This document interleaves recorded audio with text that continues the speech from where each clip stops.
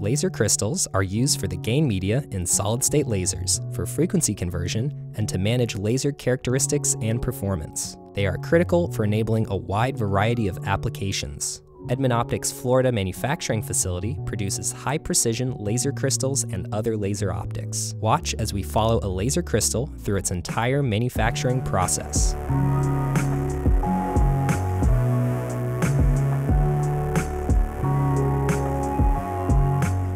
Rod of raw crystal called a boule is cored into rods or diced into slabs in the rough shape of the desired piece. The shape is then further refined through grinding. Polishing brings the optical surfaces to their final level of precision. For the tightest tolerances, sometimes a manual finishing step is required. The number of crystal faces that need to be polished depends on the crystal geometry and application, and can range from two faces to all six sides of a rectangular crystal.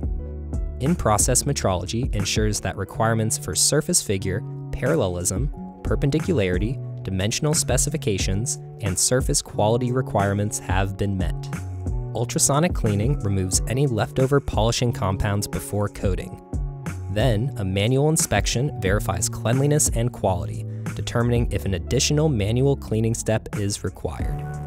Optical coatings are applied to the surfaces to optimize spectral performance for the end user's application.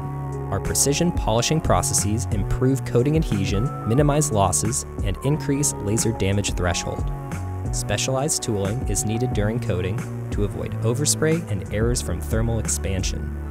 Sometimes a whole crystal slab is coated, diced into smaller pieces, and then coated again to cover the newly created surfaces.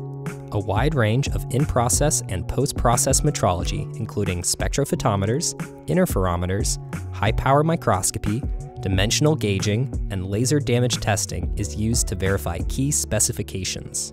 Learn more about our laser crystal manufacturing and other capabilities on our website.